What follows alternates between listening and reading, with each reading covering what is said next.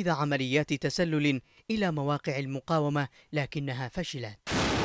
وهو ما دفع بقوات الجيش إلى شن هجمات عنيفة على تجمعات ونقاط كانت ميليشيا الحوثي وقوات الرئيس المخلوع تحاول استحداثها في مديرية القبيطة بريف محافظة لحج الهجوم المعاكس لقوات الجيش الوطني والمقاومة الذي يأتي كرد سريع على تحركات الميليشيا في المديرية دفع بعناصر الميليشيا إلى التراجع عن محاولة الوصول إلى نقيل نجد الوزف والذي يعد خط تماس فاصل بين قوات الجيش الوطني وميليشيا الحوثي والمخلوع.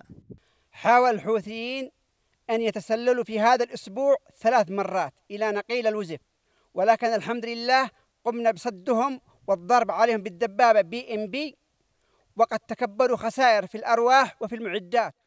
التضاريس الوعرة من المديرية لا تشكل عائقا بالنسبة لأفراد الجيش والمقاومة كما يقولون. فهم من أبناء المديرية ويواصلون التحرك في مواقعهم لصد أي هجوم للميليشيا بالإضافة إلى مهمة إمداد قوات الجيش وأفراد المقاومة بالمؤن والذخائر والمياه.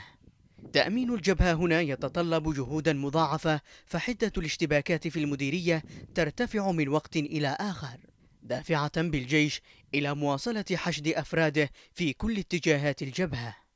وهو ما ينبئ بدخول الجبهة فصلا جديدا من عمرها عبر محاولات تصعيد الميليشيا في ريف المحافظة.